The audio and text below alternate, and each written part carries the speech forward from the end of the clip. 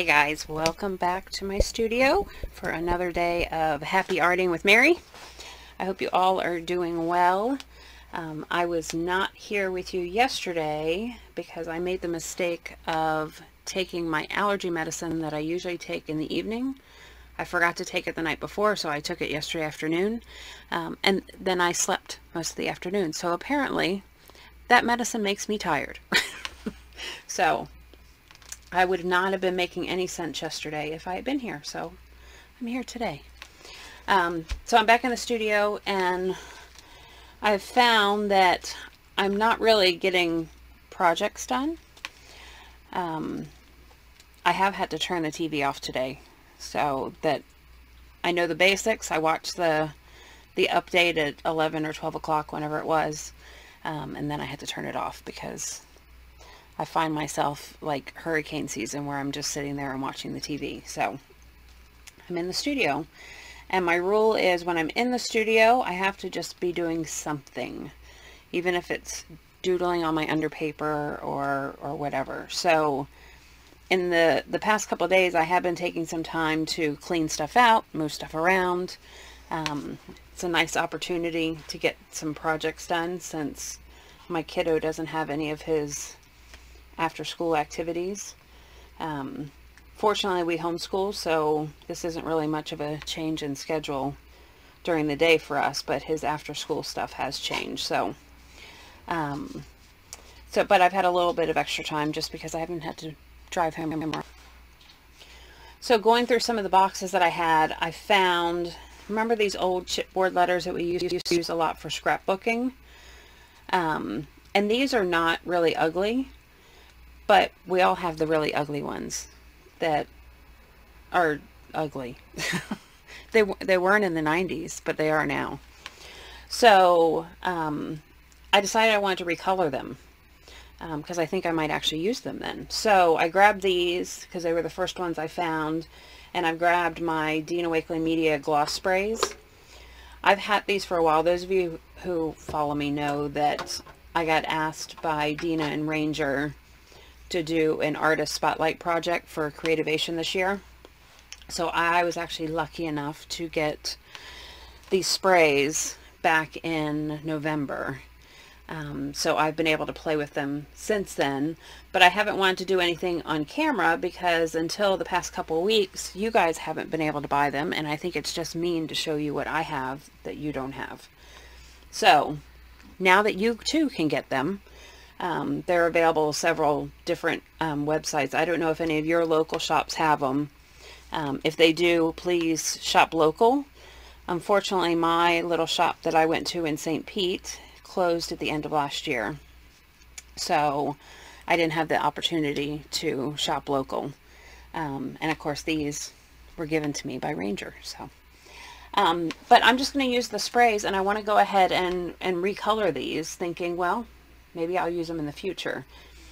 Now in my brain I'm thinking that a lot of my art journal pages tend to be teals, blues, and greens. So if I want these letters to stand out, I should go the opposite way and use my pinks and my purples and maybe some yellow. So that's where I'm going to go ahead and start. So if you haven't seen these yet, oh gosh, look, all my sprays, cover it with spray. What a surprise. Yeah, here's a surprise. My, my spray box is also covered with spray. Um, and just so you know, if you get it on your phone, um, not that I would ever do that, but if you do, go ahead and use a little bit of rubbing alcohol and it'll take it off. Um, so obviously I don't clean my sprays because I don't care if they have spray on them. So when you first pull these out, if they've been sitting for a little while, you'll notice at the bottom they have a little bit of a whitish collection. So you just need to shake them to get rid of that. I like to kind of go in a circle because I feel like the ball that's in there will go ahead and mix up that white stuff. Um, and, and I'll just mix it in with the pigment so then you'll get a nice pretty color. Um, oh, I didn't do a good job of cleaning this one. So for a while what I was doing was when I was done using these, I would actually stick the, pull the sprayer out and put it in clear water and clean it out. But Dina had said that you could just wipe off the end with a baby wipe when you're done, so that's what I've been doing. Now this one, apparently I didn't do. So we'll see how it sprays. Oh, still good. So I'm just going to go ahead and give these a good soak. And I'm going to move around because I want them different colors. Um, and I can see it's beating up a little bit because these are a glossy cardstock. But I'm just going to keep going. I may have to do more than one coat to get them fully done. But even just the little paint, paint splatters on top, I'm liking. And like I said, these weren't really ugly. Um, I need to dig through and find some of my uglier ones because I know I have them. Because we know that we don't get rid of anything. Yeah, this one. See, I didn't clean this one either. I'm just showing you examples of what not to do. So let's see. All right, I'm going to have to clean that one.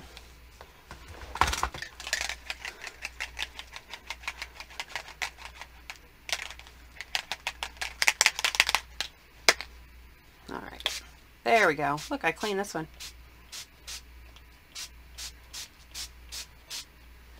And I'm going over where the pink was. Those two colors will just mix together. Um, I'm going to go ahead and hit this with the dryer real quick, um, just because I want to move faster. So you don't need to watch me dry. I'll be right back when the dry. Alright, so I dried them and now I'm going to come back um, and I think I'm going to add a little bit of yellow just to add some brightness. Those, those three pinks were kind of close together. Um, but already I kind of like how they look. I think they'll look really cool on a painted page. So I'm just going to add a little bit. Of, I noticed this up here didn't really get a lot. So I'm just going to add little spots of it here and there. I kind of like how it's splattering now on top.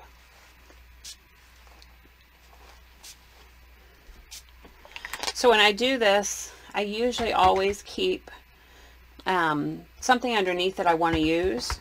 So for example, I just have a couple sheets of deli paper under there right now because you never want to waste spray.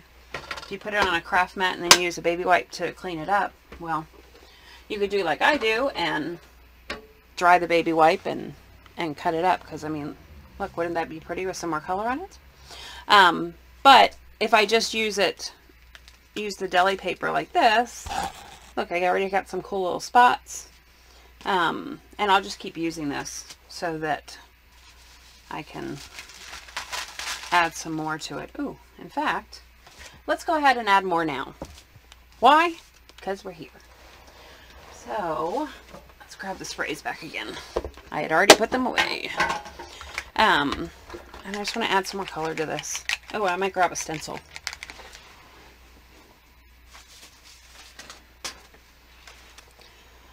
Favorite stencil right now. I always like the smaller one, um, but when Dina started coming out with these bigger stencils, this is my favorite. I use it a lot.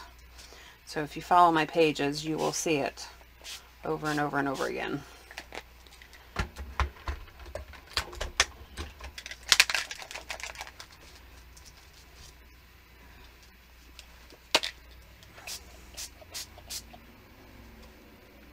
So I like to do this sometimes just so that I have some more collage. Oh, look at that pretty color. Hold on, I need to put that on something. What do I have handy?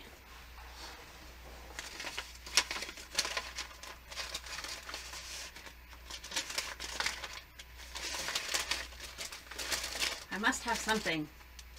Something. Anything. Alright, white sheet of paper. I should have a white sheet of paper somewhere. Here we go.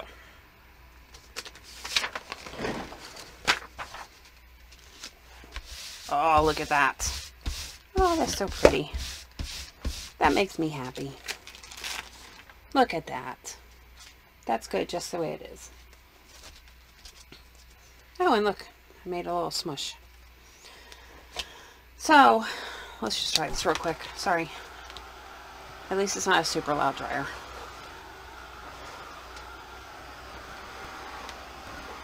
Doesn't have to be perfect. I just want to be able to add maybe some cheddar over top of that.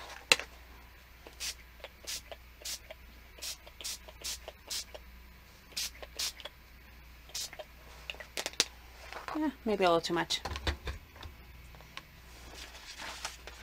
Uh, let's see. The one color in all my other sprays that I never really use or buy was white. Um, so when I got this white one, I was like, ah, I like it. It's one of my first white sprays that I can say I like. I'm really, I think I need to go back to my old cleaning method. You know, the, the part of the problem is probably Dina uses her sprays every single day, and I don't. So, I will find my little uh, trick that I like to use sometimes.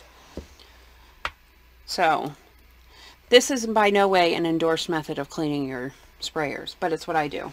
So I just take a pen. I've started using a safety pin because all the straight pins keep getting lost in my studio and I'm scared I'm going to step on them. And I just put it very lightly in the, the little spray hole. And I don't really push down too much. I'm more just kind of wiggling around. And then I'll come back and wipe it with my baby wipe. And sometimes that works, but this one, I think this one's going to have to be soaked. Oh, hold on, hold on. Yeah, I'm going to have to soak it. So, oh look, I know what we can do. Here's the other thing I do with my sprays all the time. They make really cool dots. So, we'll do that. Um, any of your sprays that do get clogged, just go ahead and pull your sprayer out. Um, get some hot water out of the sink and just let them soak in there for a while. Um, sometimes you have to do it two or three times if they're really gunked up. Um, and then I did make a video of how I was cleaning them using the clean water.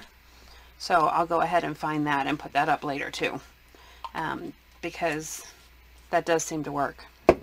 Um, it takes a little bit more time, but I think it's probably better if you're not using your sprays every day because I don't, I don't use these every single day. Um, so they do have a tendency that they want to dry. Um, so that's good for now. And what am I going to use it for? Eh, I don't know.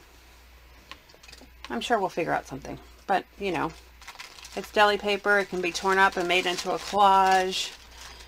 You know, the one thing I like about deli paper is that because it's transparent, oh, there's a little bit more spray.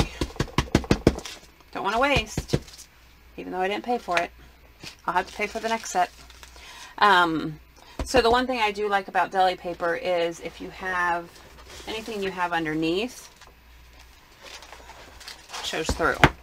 So like if you have your a font underneath a, a, a printed page, it shows through. So that's why I, I like to to have some collage sheets on deli paper as well as just regular white paper.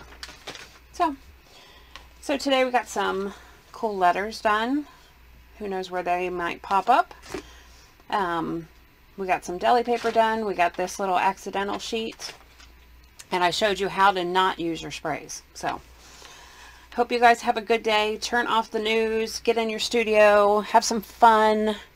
Um, go for a walk. do something. Um, and I will talk to you guys again tomorrow. Have a great day. Happy arting.